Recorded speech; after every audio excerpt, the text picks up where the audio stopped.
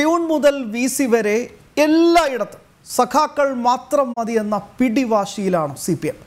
ഇതുവരെ രഹസ്യമായി മാത്രം ചെയ്തത് പരസ്യമായി ചെയ്തു കൂട്ടാൻ മാത്രം എന്ത് ധൈര്യമാണ് മുഖ്യനും കൂട്ടർക്കും കിട്ടിയത്. കത്ത് കൊടുത്ത് കിട്ടിയവരെയൊക്കെ തിരികെ കയറ്റാൻ കേരളം എന്നു മുതലാണ് സ്വതന്ത്ര പരമാധികാര റിപ്പബ്ലിക്കായി പ്രഖ്യാപിച്ചത്. ഈ സമഗ്രാധിപത്യത്തെയാണ് കേരളത്തിന്റെ ഗവർണർ ആരിഫ് മുഹമ്മദ് ഖാൻ ചോദ്യം ചെയ്തത്.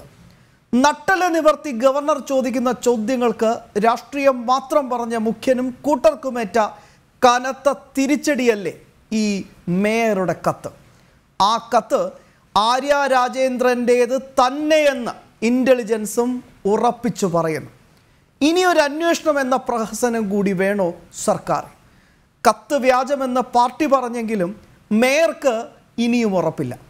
ലെറ്റർ പാഡിലെ ഫോണ്ട് വ്യത്യാസവും ഒപ്പിലെ അവ്യക്തതയും മാത്രം പറഞ്ഞ ഇനി എത്ര കാലം മേയർക്കും പാർട്ടിക്കും പിടിച്ചു നിൽക്കാൻ കഴിയും?